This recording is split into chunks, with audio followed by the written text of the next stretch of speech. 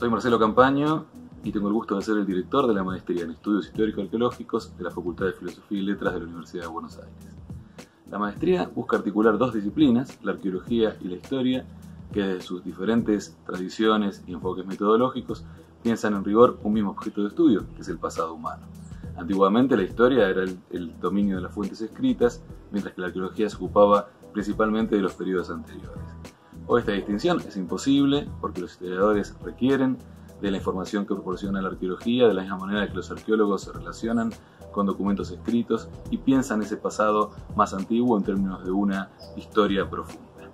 Pero esa articulación que en la práctica sucede le falta pensamiento y la maestría se dedica a esto. El plantel de profesores de la maestría es realmente muy importante, tiene grandes docentes de la Facultad de Filosofía y Letras y de otras universidades nacionales argentinas. Este año 2020, a pesar de la pandemia, estamos terminando la primera cohorte y del 2 al 27 de noviembre está abierta la inscripción para la segunda cohorte que va a comenzar el año que viene. Si les interesan estas temáticas, es una gran oportunidad para empezar 2021 con un buen proyecto.